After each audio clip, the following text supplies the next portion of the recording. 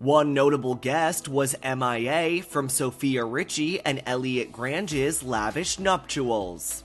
As fans combed through photos of the couple's star studded wedding, some noticed that her brother Miles Richie wasn't in any of the photos. However, a rep for the model tells TMZ that Miles was feeling under the weather before the wedding and ended up testing positive for COVID 19. The outlet was informed that Sofia would have loved to have her brother in attendance, but she understood why he couldn't be there. Still, many family members and friends came to celebrate Sofia and Elliot's love in the south of France on April 22nd. Sofia's sister, Nicole Richie, served as the maid of honor, while her dad, Lionel Richie, walked the bride down the aisle. Baby girl has jumped the broom. Oh my God that was a very humbling experience, you know, in, in all of the fame of my life.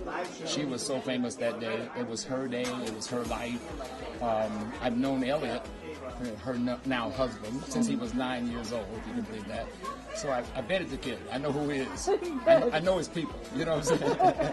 and so they're happy. Yeah. And they're in love. And, and if you wish for anything for your kid, you want someone to love your kid as much as I love my kid, you know, and he loves my kid. And so that's, I'm very happy. The four time Grammy winner also performed a few of his hits during the wedding.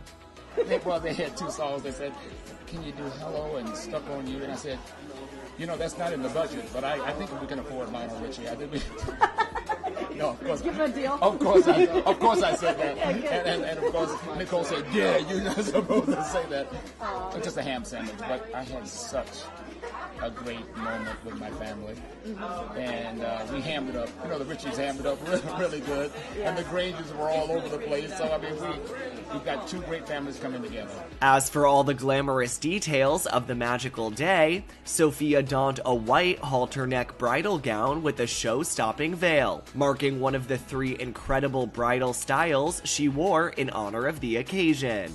The bride also sported a white beaded gown for her rehearsal dinner and a white mini dress with a fabric flower for the post wedding after party.